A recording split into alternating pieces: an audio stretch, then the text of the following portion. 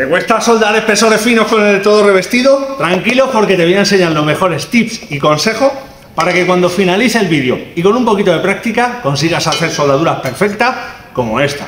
¿y por qué es tan difícil soldar con el todo revestido? No es difícil, simple y únicamente vamos a ver unos aspectos fundamentales. En primer lugar, os recomiendo soldar con 60-13 en vuestros inicios. Es un electrodo muy utilizado en herrería, muy dulce a la hora de soldar y ya veréis cómo empezáis a familiarizando eh, con este electrodo.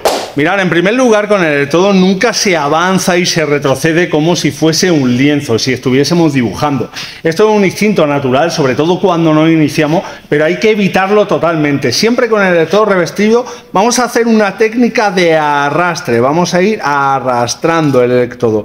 No vamos soldando hacia la parte delantera, sino esa escoria nos va invadiendo. Siempre una técnica de arrastre y nunca hacia adelante y hacia atrás, es decir, dibujando. Eso nunca. Siempre arrastramos. Mirad, algo muy importante y donde hay muchas dudas es la distancia del arco que es fundamental. Mirad, si lo tenemos literalmente tocando, el de todo se nos puede pegar. Y si levantamos mucho el arco, eh, se nos puede producir un sople o incluso que se nos corte el arco. Con lo cual esa distancia, esto dependerá del diámetro de cada electrodo. Pero en vuestros inicios, calcular aproximadamente un milímetro y medio o dos milímetros y vais probando qué tal, ¿vale? Tener en cuenta que tenemos que llevar dos velocidades progresivas. Una va a ser esa velocidad de arrastre, ¿vale? Porque si vamos muy rápido no vamos a llegar a hacer el baño de fusión. Y si vamos muy lento vamos a agujerear, ahora lo vamos a ver. Y también conforme vamos soldando se va consumiendo el electrodo. Con lo cual, esa velocidad constante tanto de arrastre cómo vamos bajando nuestra pinza por todos. Tranquilos que con un poquito de práctica y dedicación ya veréis cómo lo conseguimos. También, para soldar es fundamental trabajar de una forma cómoda. Si estáis incómodos en mala posición, vais a iniciaros de una mala forma.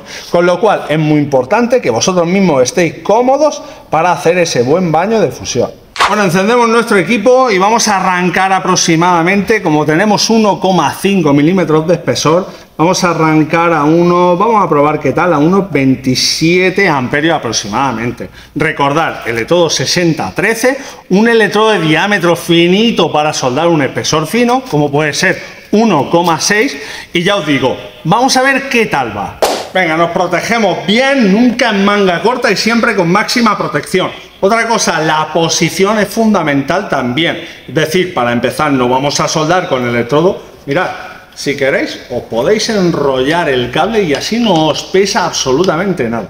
No podemos tener totalmente en una forma eh, vertical el electrodo ni excesivamente tumbada. Vamos a buscar un equilibrio, vamos a sacar una bisectriz, digamos, para tener un buen ángulo en ese inicio. Empezamos.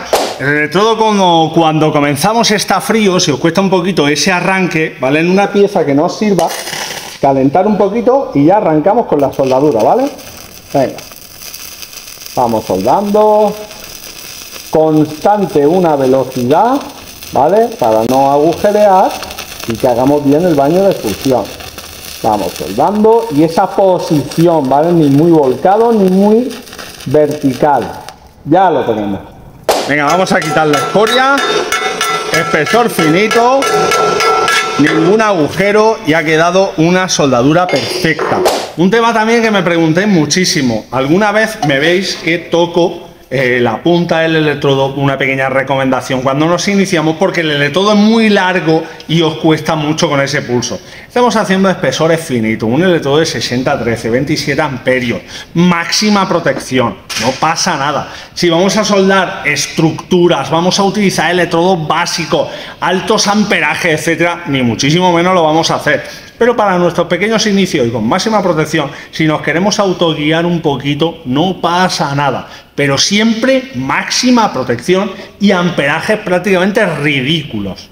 Bueno, un cordón fantástico y con estas recomendaciones jamás vais a agujerear ni vais a dejar una soldadura superficial que no llegue a penetrar. Con lo cual, velocidad, constancia, equilibrio, diámetro, amperaje, grosor del material, esas recomendaciones son fundamentales.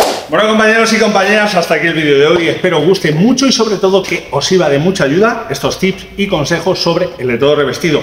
Bajo en la caja de comentarios cualquier duda, aclaración, lo vemos y lo debatimos. Y también en la descripción del vídeo voy a dejar toda la serie de vídeos que tenemos en el canal sobre el de todo revestido.